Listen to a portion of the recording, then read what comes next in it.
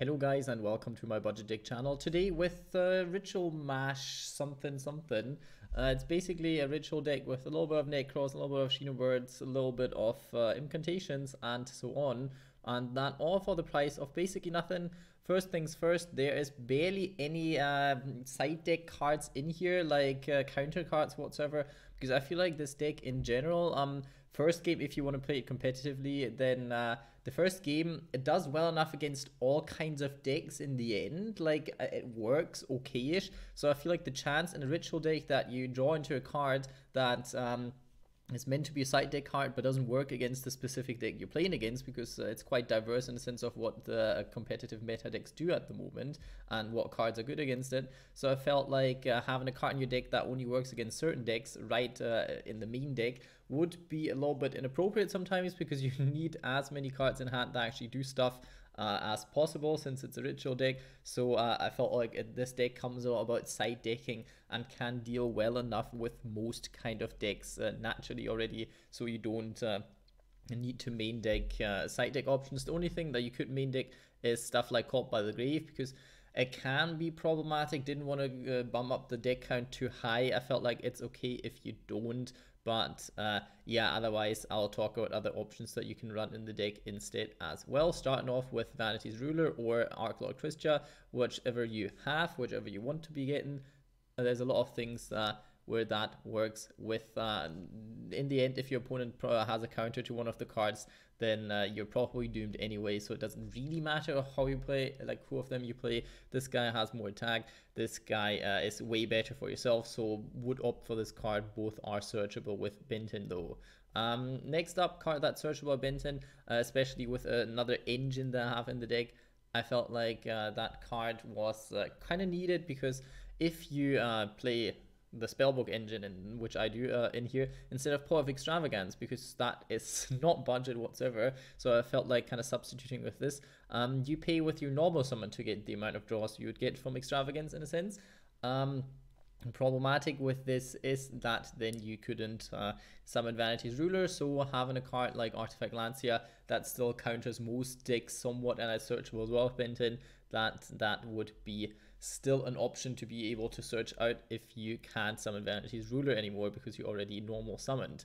Um, for the Impcantations to uh, and to Candoll, because those are the ones that you want to be summoning out of your deck. So you don't want to have them in hand because you technically don't want to use their hand effect because you can only use uh, their effects once and like not each of them, but like you can only use one of the effects per turn, which uh, can be problematic if you start with them in the hand. That's why I decided to run three of the Bookstone and three of the Penciplume, because late game they're pretty good to recycle stuff that's already in your graveyard. So that's maybe when you want to be summoning them out with the effects of uh, the Impcantation ritual spell or the Impcantation uh, ritual monster and at the early stages you want to use them to summon out the more important ones Candoll and uh, Talismandra that give you searches. So I felt like that was necessary. Obviously you can play with the ratios as much as you want to but in testing I felt like that really uh, kicked it over the edge and made the deck a lot better. So uh, that was one of those things.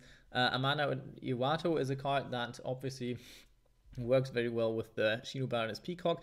You can normal summon as well to be protected from hand traps and all those kind of things. But in the end, I feel like mostly you'll be summoning this out with Peacock.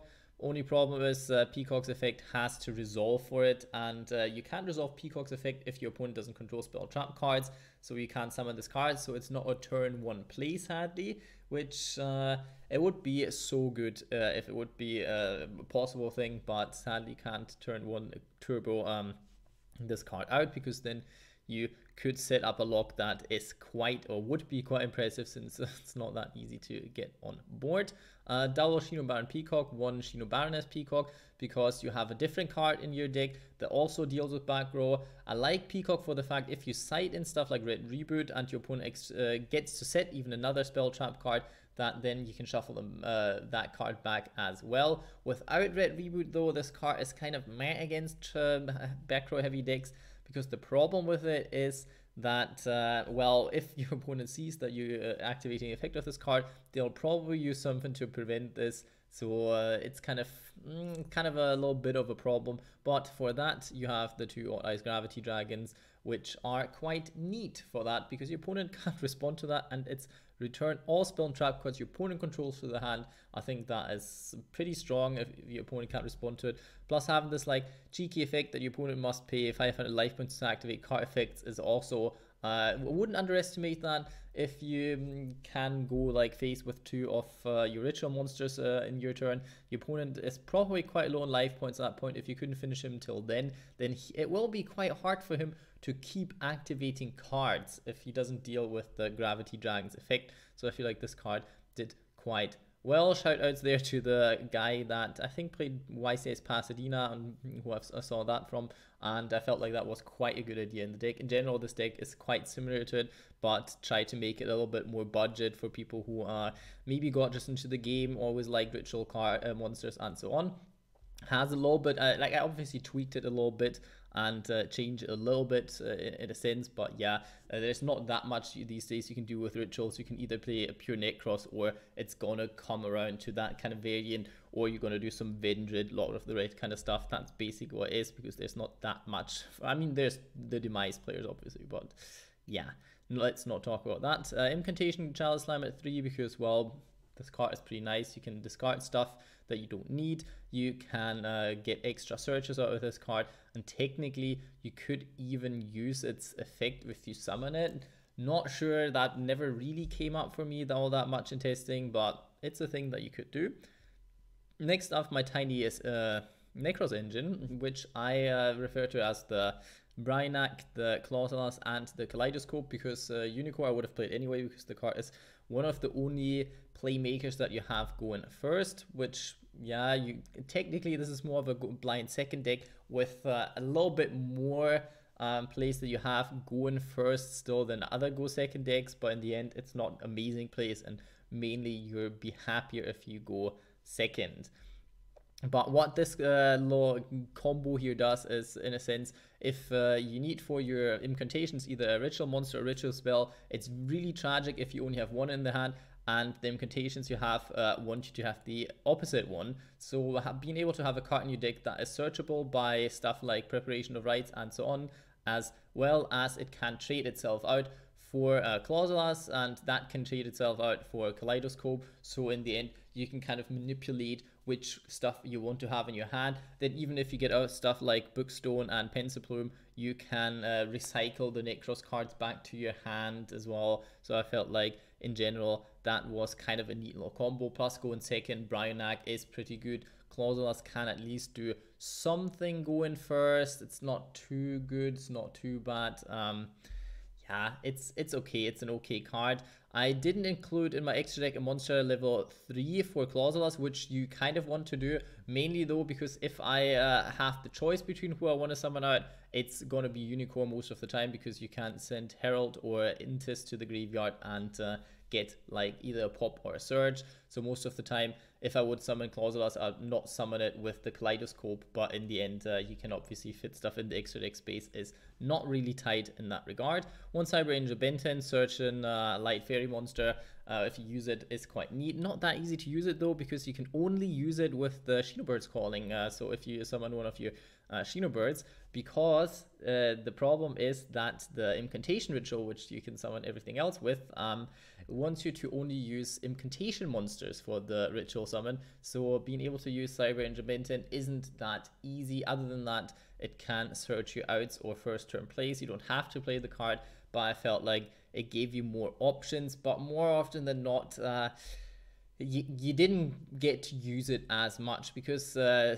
using one of your Shinobarons going first is not necessarily the best play either, since you'll probably be disrupted by your opponent somehow. Getting two monsters on board, getting one Shinobaron on board as well. Um, and so you can still tribute over stuff uh, with the card that you search. Possibly if you search Amenities Ruler, can be quite hard to actually set up. For the spellbook engine, I felt like the normal summon doesn't hurt you too much. Back in the days, you played stuff like Manju and Ritual Decks, so uh, why not include that tiny engine? You even have discard if you draw a spellbook of knowledge, for example, and you don't have anything to use it with. Plus, Bookstone is a spellcaster, so there's enough options for you to actually use this uh, in duel, and it helps you cycle through your deck, gets you. Uh, some advantages and can bait stuff like Ash Blossoms or affect Veilers, Impermanences, possibly if your opponent really doesn't want you to get uh, an hand advantage.